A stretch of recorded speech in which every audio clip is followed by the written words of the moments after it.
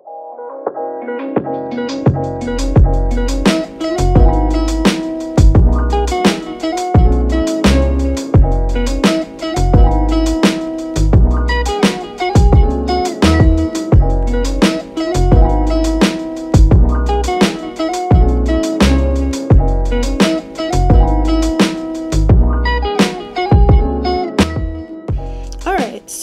Before we get started today, I want to acknowledge that OCAD is a settler organization.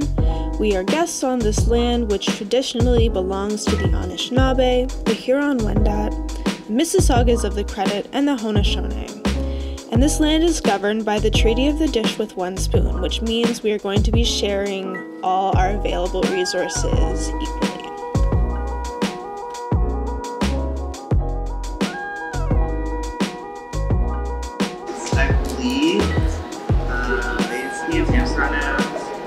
I come from like a upper class bourgeois family, um, but I am working class, um, and I'm a socialist, and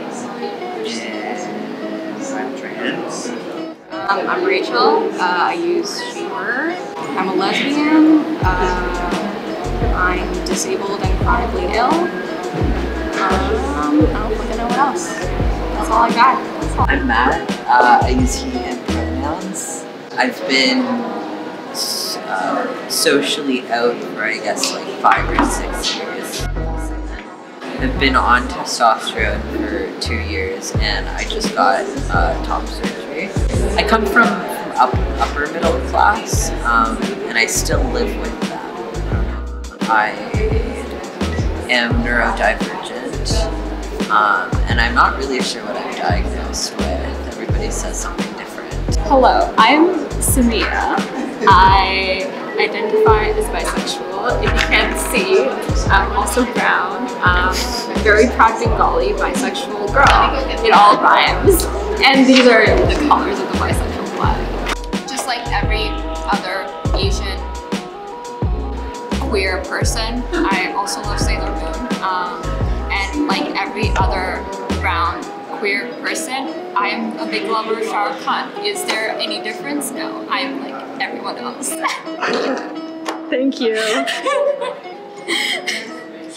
my experience for the most part, like most LGBT offices have not been very inclusive. Mm-hmm. Like I'm like I'm a brown person who's still very much like embraces my own like you know Bengali identity. Like I still love like Bollywood. I still like I'm still like fairly religious and not completely spiritual.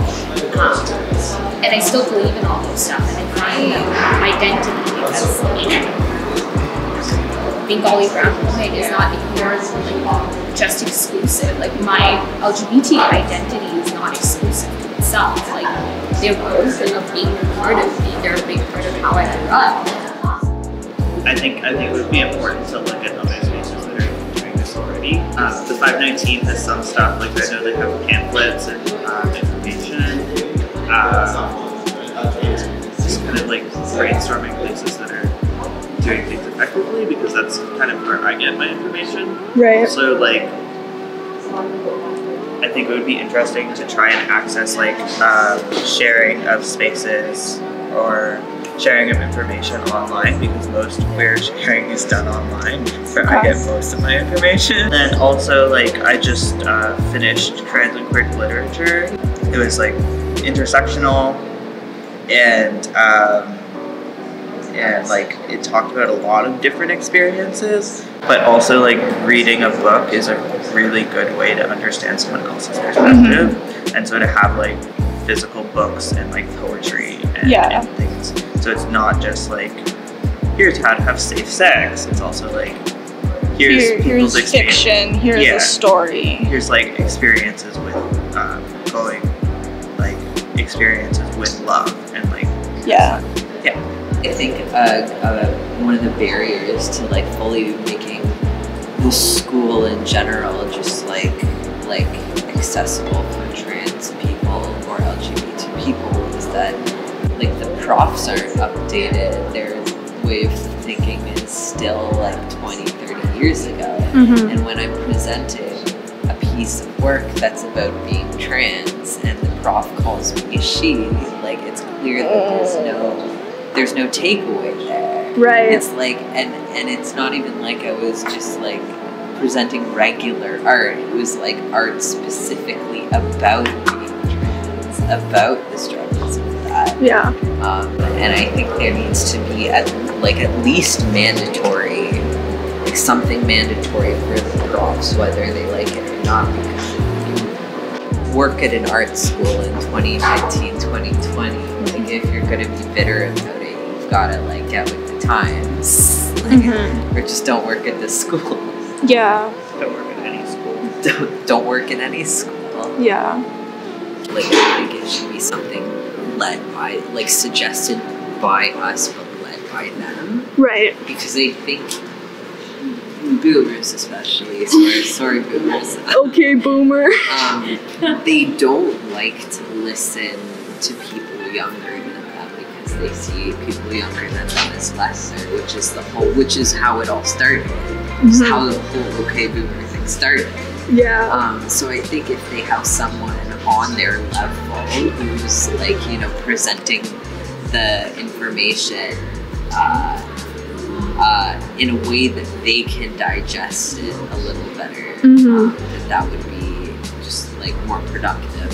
Mhm. I, I do like the idea of like a mandatory thing, but also I think it would be really difficult to do it at first because at first you're probably not going to know exactly what to discuss. Like starting with uh, the like people who don't want to know and don't want to try and don't want to learn, like you're going to fail because um, like it's just going to be way, way, way too difficult. But if you have all of the profs who are like in the middle and like want to learn more, Right. like if they're at those meetings already learning and then they tell their coworkers, Right. and then there's like a little bit of yeah, yeah, like we have to like emphasize that, that this would be like our space where we're talking.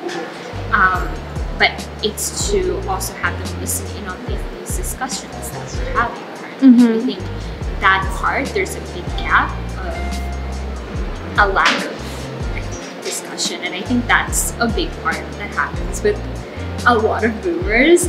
Like, I find like, you know, like we don't have that much discussion, right? Like I find like I personally I do have a lot of discussion with my dad, right? But um, I find like a lot of other people they don't like I don't find myself having those same discussions with my prof, which is they're the same discussion, like age as my dad, but like you know, um, yeah, there's no personal connection there, but there's still like you know we there needs to be a comfortable space where we're willing to have these discussions and they're also willing to listen to us. Mm-hmm. Yeah, totally. I don't think like education should be like the burden of students, I guess. Mhm. Like I don't think we should have to be the ones responsible to educate the profs. Like, I feel like someone else should be stepping in to kind of deal with that. it's Mhm. like, we're really we're like dealing with enough shit. Like Yeah. Yeah.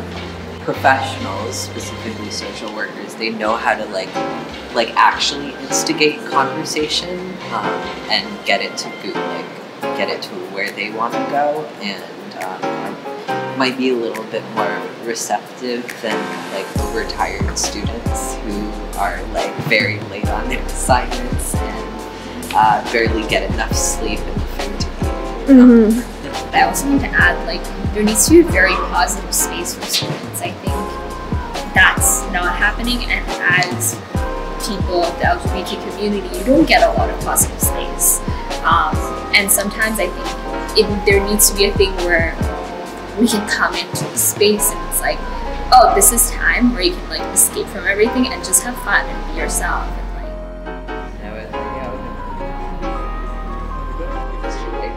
Not look like a wheelchair? I tried. I tried. I, I think it's just a wheel.